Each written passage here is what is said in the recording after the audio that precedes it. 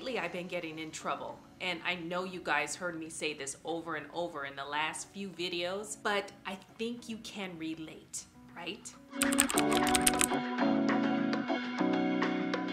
I have some weight loss hacks, some things, some tips, some tricks to getting back on track, but also to lose those extra nagging pounds that we keep talking about and we may go up and down like a roller coaster, but I know we can get to a situation where we can stabilize what we're trying to lose and stay there, at least for a while, right? Okay, let's get into it. First, you want to drink water before the meal. If you drink water before the meal, it'll give you a feeling of fullness, more satiated feeling and then you can eat your meal and pick a meal without feeling like you're starving. And so that will lead to weight loss because you'll be eating less because you have drinking the water beforehand. Second, you want to take a smaller plate.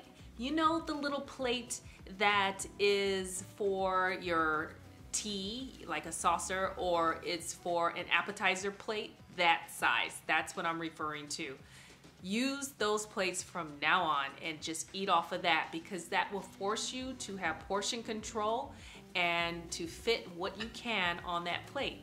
And hey, right there, you just cut at least a couple hundred calories right out of your meal. Number three, this is so simple, but you just have to chew more and chew often.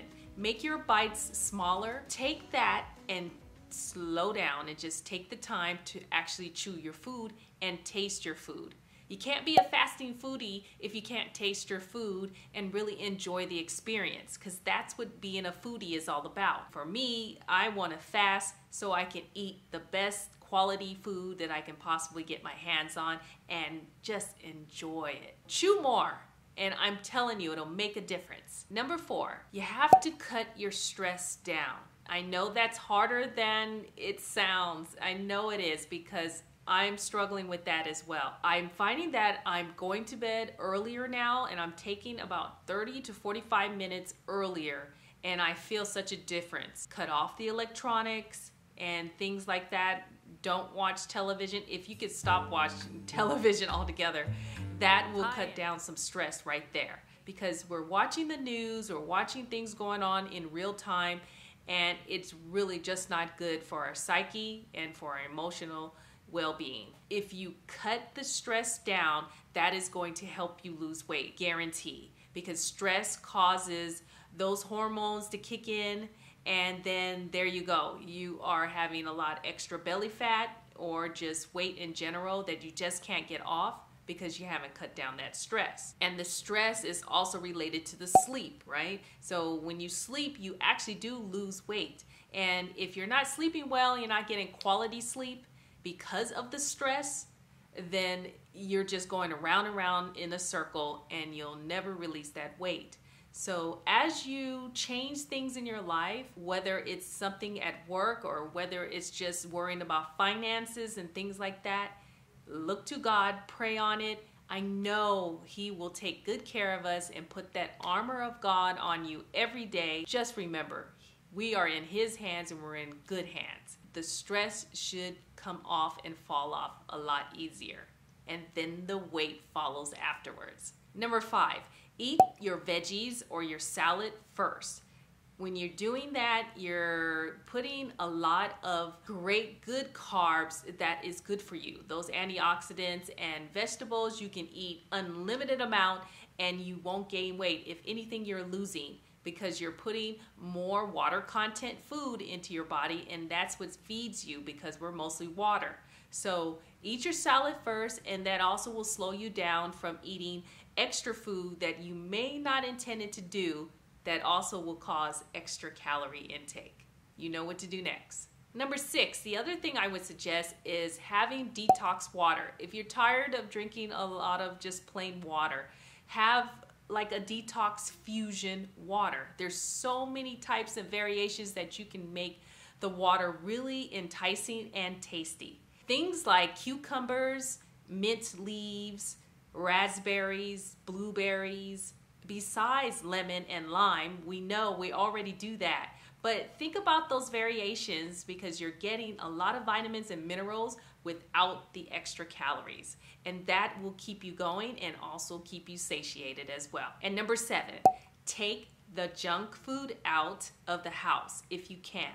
Now, I know you have family members in your house like I do, and of course, I can't really do that because they're gonna eat what they want. The other game you need to play with yourself is to hide it hide, hide, hide any junk food, processed food, anything that's in a box that you can put in the pantry.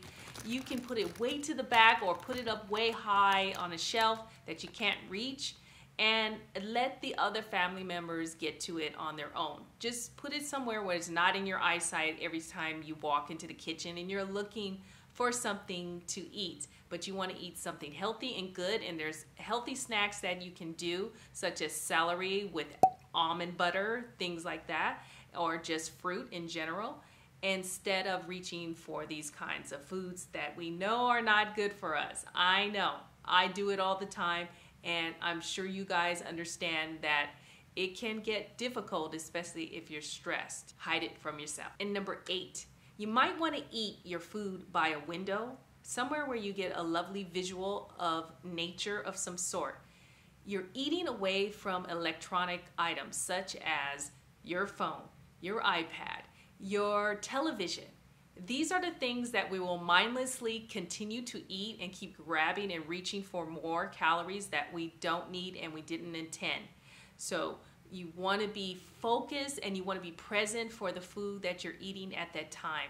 So sit down maybe with a partner or your loved one and eat with them without those distractions of the electronic items that are out there in the world. And it's inundating us right? It's it's overwhelming us and we don't need it when we're trying to be healthy. So those are my weight loss hacks. Do you have any weight loss hacks that you can share with us? Please leave a comment below. And uh, i look forward to hearing from you guys. I thank you so much for watching and always remember Caregiving begins with you. Talk to you on the next video. Bye.